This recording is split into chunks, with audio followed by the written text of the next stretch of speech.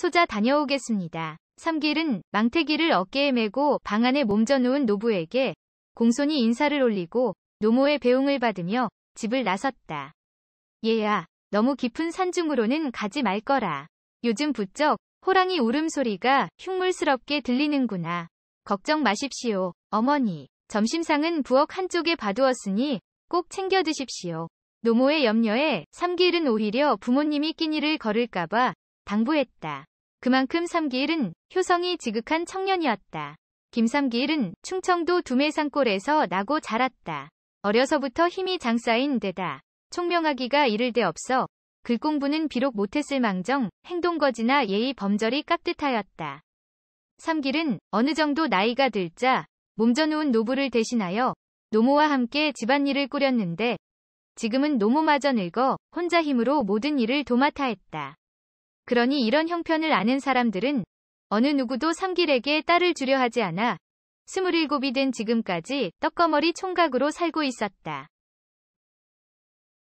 하지만 삼길은 그런 것에는 아랑곳하지 않고 농번기에는 열심히 들이를 하고 추수가 끝나는 늦가을이 되면 산으로 약초를 캐러 다니거나 화전을 읽어 생계를 연명하고 노부의 약값을 마련했다. 요즘은 추수가 끝난 늦가을이기에 날마다 망태기를 메고 온 산을 뒤지며 약초를 캐는 것으로 하루하루를 보냈다.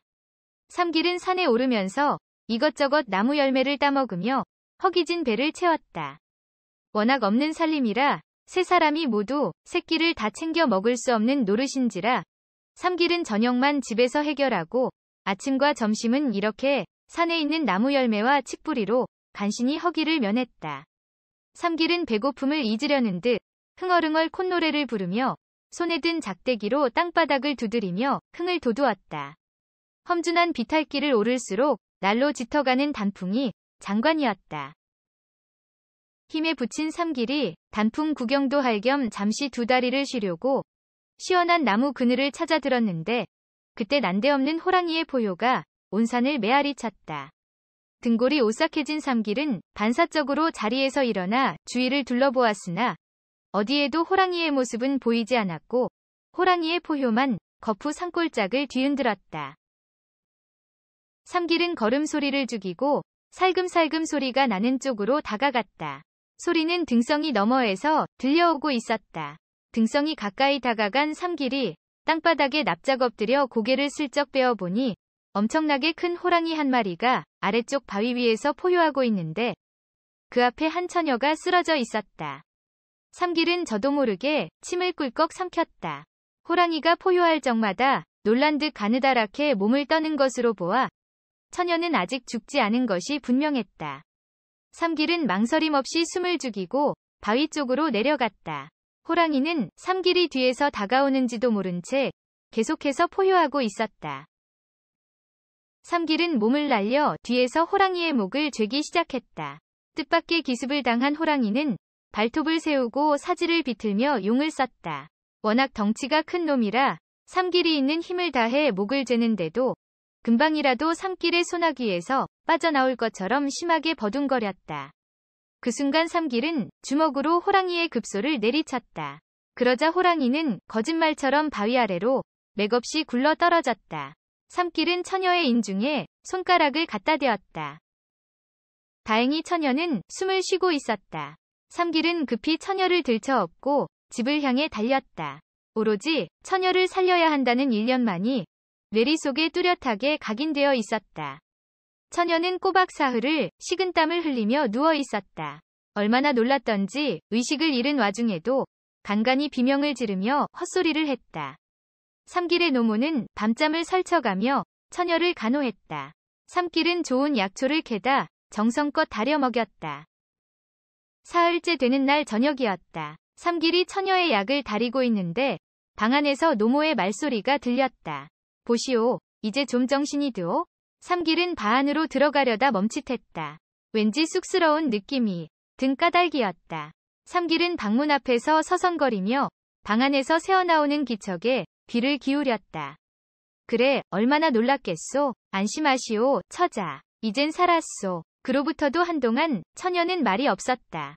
노모의 기쁨에 찬 목소리만 삼길의 귓전으로 흘러들었다. 니신지. 그리고 제가 어찌 여기에. 하마터면 큰일 날 뻔했소, 처자. 호랑이 밥이 될 뻔한 목숨을 우리 아들이 구해왔다오. 예, 처녀는 노모의 말을 듣고서야 저간의 일들이 기억나는 듯 화들짝 놀라며 몸서리를 쳤다.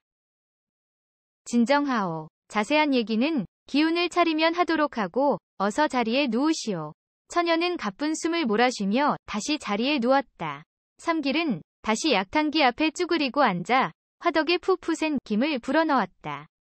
처녀가 살아난 것이 정말 고맙고 다행이라는 표정이었다. 다음날 아침상을 물리고 난 후 처녀는 삼길의 부모님 앞에 큰 절을 올렸다. 이 은혜 죽어서도 잊지 못할 것입니다. 고맙습니다. 은혜랄 것까지야 뭐 있겠소? 그나마 처자가 기력을 회복한 것이 고마울 따름이요. 삼길의 노모는 주름진 얼굴에 환한 웃음을 지으며 말했다. 곁에 앉아 묵묵히 고개를 숙이고 있는 삼길에게 처녀는 다소곳하게 이마를 숙이며 말했다. 정말 고맙습니다. 무엇으로 이 은혜를 갚아야 할지. 아닙니다. 저보다 어머니께서 간호하시느라 애쓰셨습니다. 듣기에 맨손으로 호랑이와 대적하였다고 들었습니다. 이는 아무나 할 수 있는 일이 아니지요. 아무리 호랑이라고 하지만 인명을 헤아려 든다면 어느 누구라도 그리했을 것입니다. 삼길은 스스럼 없이 대답했다. 근데 옷차림새를 보아하니 여염집 처자는 아닌 것 같은데 뉘댁 처자이신가? 마치 오랜 궁금증을 마음속에 품어온 듯 노모의 말투는 조급하면서도 은근했다. 예, 소녀의 아버지는 흥판서 대감이시고 저는 그분의 무남동녀 외딸입니다. 잠시 방 안에 물속처럼 깊은 정적이 감돌았다. 삼길의 노모는 낮게 한숨을 내쉬었다. 판서의 딸이라면 더 물어볼 것도 없었다. 사실 그녀는 삼길이 처녀를 업고 왔을 때부터 간호를 하는 동안 마음속으로 은근히 딴 생각을 품고 있었다. 행색으로 보아서는 웬만큼 행세하는 집안 규수 같았지만 아들인 삼길이 호랑이와 사투를 벌인 끝에 처녀를 살렸으니 그리 큰 차이가 나지 않는다면 은근슬쩍 혼잣말을 꺼내도 괜찮을 것이라 생각했었다. 그리하여 일만 잘 된다면 여태껏 노총각 신세를 못 면한 아들을 장가들여 오손도손 사람 사는 재미를 알게 해주고 싶었다. 자신의 그런 속마음을 숨기려는 모양으로 노모가 얼른 말을 이었다. 저런 무남동녀 외딸이면 귀하게 키웠을 텐데 호환을 당했으니 지금쯤 얼마나 기가 차고 속이 닳고 그 소리를 흘려들으며 삼길은 방 안에서 나왔다. 늦가을 햇살이 따갑게 느껴지는 아침나절인데도 팔뚝에 자잘한 소름이 돋는 걸 보니 겨울이 머지않은 모양이었다.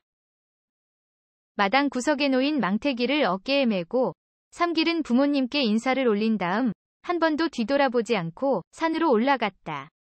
하루가 다르게 떨어지는 산중의 낙엽과도 같이 다시 몇 날이 훌쩍 지나갔다.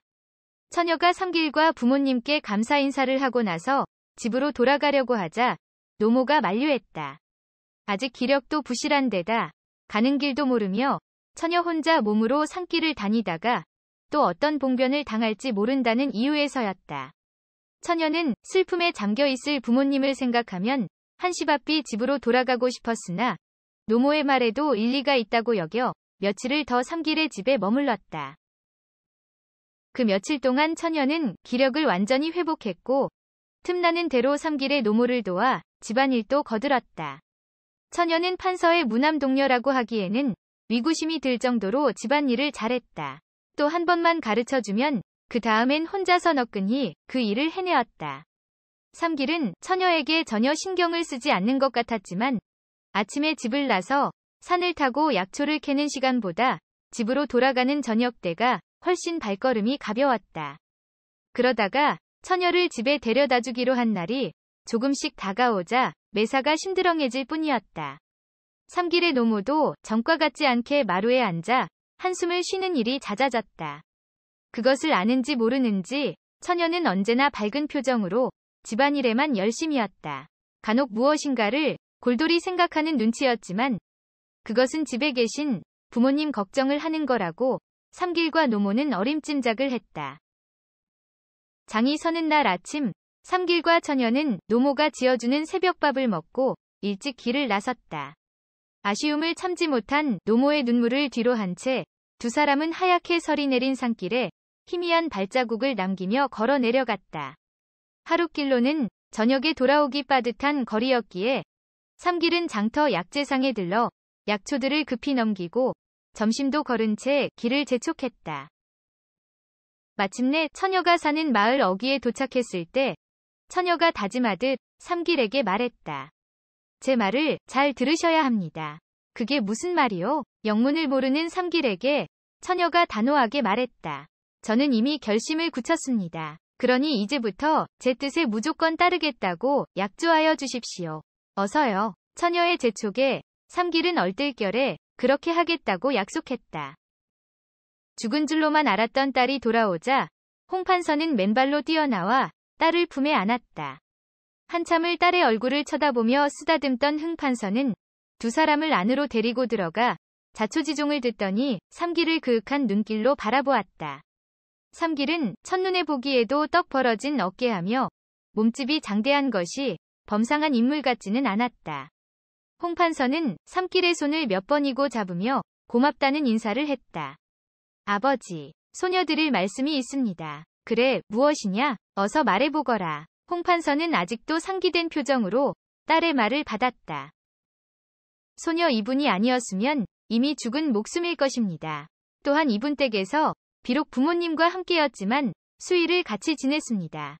음, 소녀 이분과 혼인할 수 있도록 허락하여 주십시오. 아니 낭자, 그게 무슨 말이오? 홍판서보다 더 놀란 사람은 삼길이었다. 아니 될 말이오. 나는 가난한 농사꾼으로 약초나 캐고 수치나 구우며 겨우 연명하고 있소. 낭자같이 귀한 사람에겐 어울리지 않는 미천한 사람이란 말이오. 저와 하신 약조를 잊으셨습니까? 그건, 그건 낭자가. 삼길이 더 이상 말을 잇지 못하자 홍판서는 두 사람이 이미 혼인을 결심하고 정을 통했다고 여겼다. 일이 이렇게 된 이상 홍판서로서는 딸을 다른 곳으로 시집 보낼 수도 없는 노릇이었다. 그는 글줄이나 깨쳤다고 거드름을 피우는 하찮은 양반 자제보다는 보기에도 믿음직스런 삼길에게 딸을 주는 게 더 나을 것이라고 스스로를 위로하며 마음을 굳혔다. 그건 그렇지가 않네. 이미 죽었을 내 딸의 목숨을 자네가 살렸으니 앞으로도 내 딸 아이의 인생을 자네가 책임지게. 날이 곧 혼례 준비를 서두를 터이니 그리 알고 어서 가서 부모님께 이 기쁜 소식을 전해드리게. 삼길은 아무런 대답도 하지 못했다.